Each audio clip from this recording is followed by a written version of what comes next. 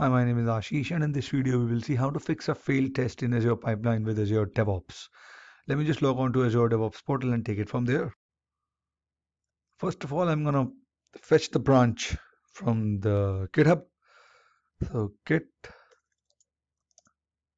I'm using the fetch method, upstream, failed test okay I'm gonna git check out the branch would be fail test.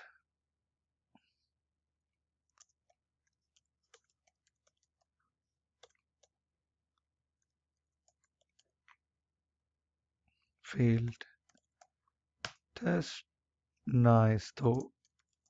I'm in failed test branch as of now and if you would see I have not made any changes. We have named the branch failed test. Now we'll run the following command to add an empty entry to the commit history. This command would be git commit allow empty minus m trigger Azure pipelines.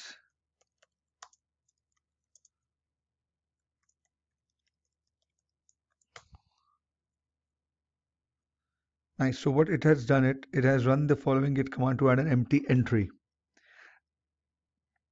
When you fork the repository from the Microsoft account into our GitHub account, your fork already came with the fail test branch.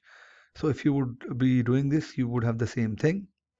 Now we'll run the git push command to upload the branch to the GitHub repository. So it would be git push origin and the name would be fail test.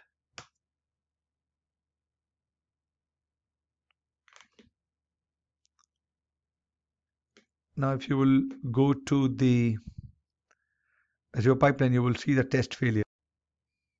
Running the npm install, compile, run gulp task, write build info, unit test, create code coverage.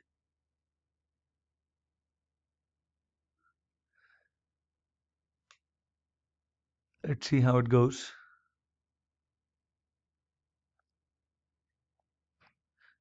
And according to this, this method would fail the test would pass when the input value is 0, but it will fail when the input value is 1 or 10. So let's let's wait for this to happen. You see we have a cross sign here. It failed. Now when the build will be complete, you will not, we will not get the artifact button So the build is always published to the pipeline when the previous task would succeed. As our build is failed, uh, uh, sorry, the build was not published because the unit test was failed. So this would prevent other from accidentally obtaining a broken build. So if the if someone pushes out a wrong wrong code or make a wrong entry in the code, the adding the unit test would not happen and the build would not be ready with the failed changes. And Azure DevOps would send an email notification to me uh, on my registered ID with which I am logged in. It would uh, sh show me the error, list the error that I am getting because of the build failure. And if you want to fix it, reproduce the failure locally run the build locally uh, like using the .NET build configuration release and the .NET test no build configuration. You will see the errors.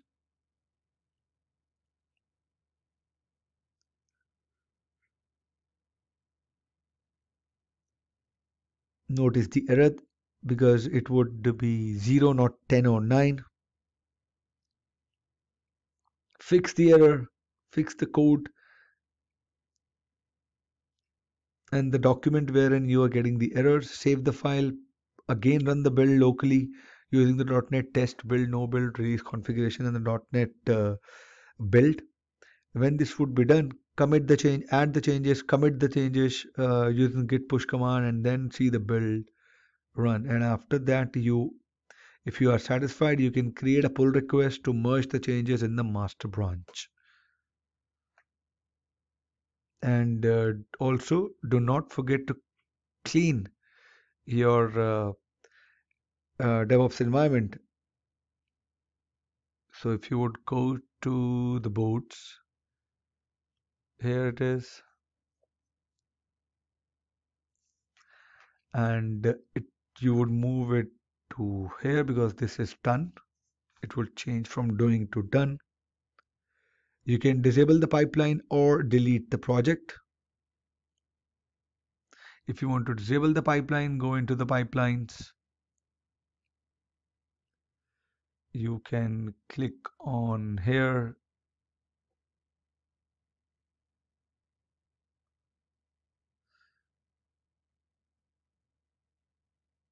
You can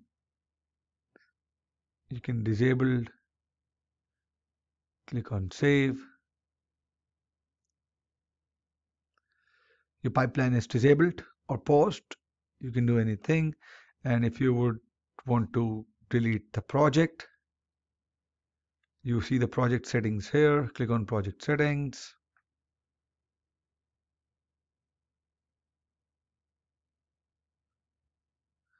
And if you will scroll down you can click on delete the project type in the name or copy paste it click on delete. The project is done and that completed uh, our video as well. So i'll see you guys in the next video. Stay tuned. Have a good day ahead. Bye bye